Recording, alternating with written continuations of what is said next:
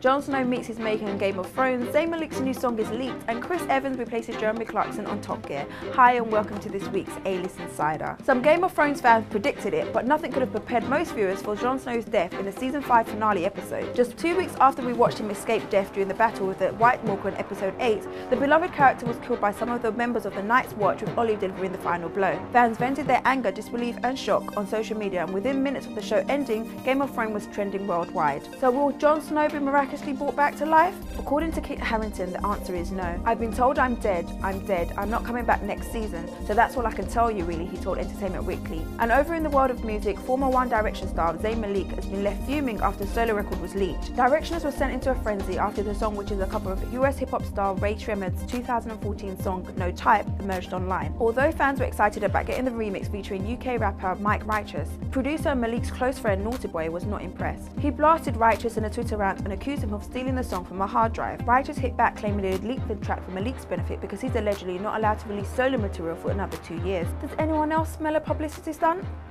And finally, after weeks of speculation, Chris Evans has been unveiled as the new host of Top Gear. The BBC announced that the presenter will replace Jeremy Clarkson as the star of the motoring show. They also revealed that there'll be an all-new lineup, meaning Richard Hammond and James May will not be involved. Evans, who presents BBC Radio 2's Breakfast Show, said that he was thrilled, describing the motor show as his favourite programme of all time, and promising to do everything possible to respect what has gone before. We may remember that Clarkson was axed from the show after a ruckus with the producer. So will you be watching?